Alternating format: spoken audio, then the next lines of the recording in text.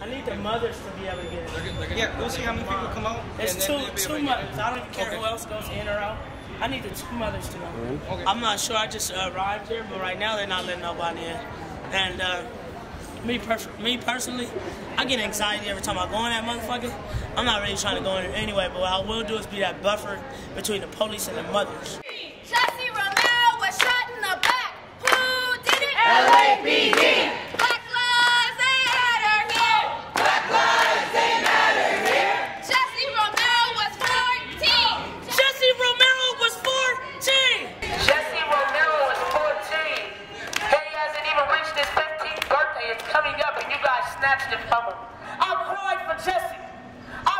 For Jesse because he was hunted down like my ancestors have been chased by the overseers. He was hunted down and chased. Imagine the anxiety that baby felt. Imagine the pain he felt while dying. Jesse Romero did not deserve to die. He did not deserve to die. Richard Risher did not deserve to die. You guys killed two other babies in the Nickerson Gardens that night. And the news would never know nothing about it because you guys. We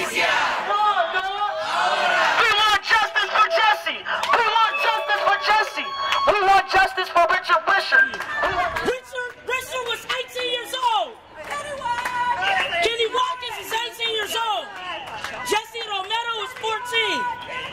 This motherfucker need a psychiatric evaluation!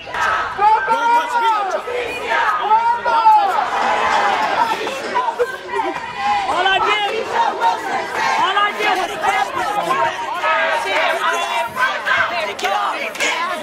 Let her out! Let her out! Let her out! I'm gonna go crazy! Let her out! I'm gonna go crazy! Let her out!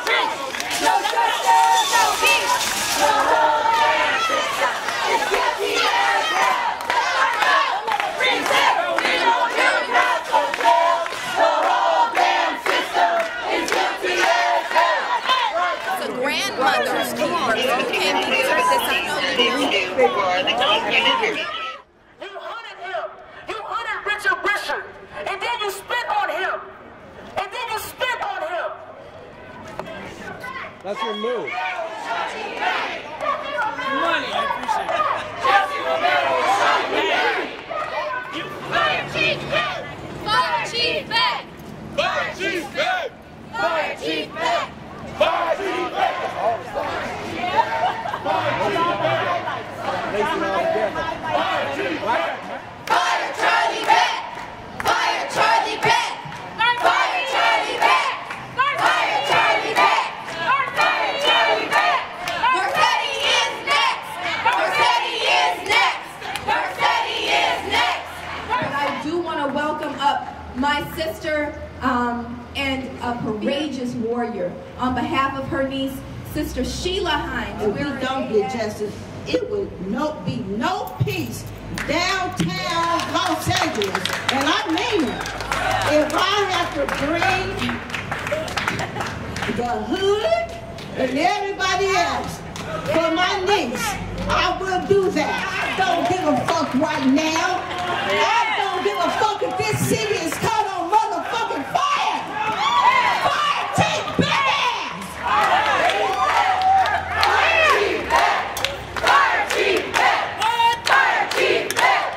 We love you! We, we love you! We love you! We, we love you! Defect needs to be fired. He said he protect his officers like they're bulletproof vests. Thank you. We love you! We love you! We, we love you! We in Affirm want to honor black leadership and the movement for black lives and stand here today